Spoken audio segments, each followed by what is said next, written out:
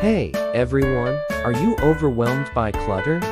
Do you feel like you need a personal assistant just to find your keys? Well, I'm here to tell you that organization doesn't have to be expensive or complicated.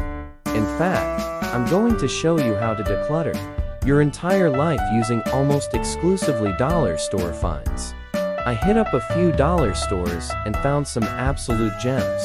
We're talking bins, baskets, hooks, containers. You name it. The best part? Everything was under 5, most under $1. So grab a notebook, because you're going to want to write this list down. These bins are perfect for the pantry. Look how much neater it looks now. And these little baskets. They're the ideal size for bathroom drawers. No more digging for bobby pins. Don't forget under the sink. This over-the-door organizer is a game changer.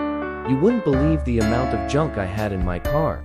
But with a few dollar store baskets and a hanging organizer, it's now a zen zone. Okay, so digital clutter is a thing too.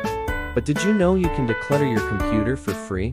I'm sharing my favorite apps and tips for organizing your files, inbox, and even your social media feeds.